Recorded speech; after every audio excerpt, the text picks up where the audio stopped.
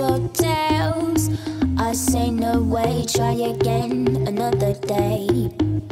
I should be happy, not tipping the scales.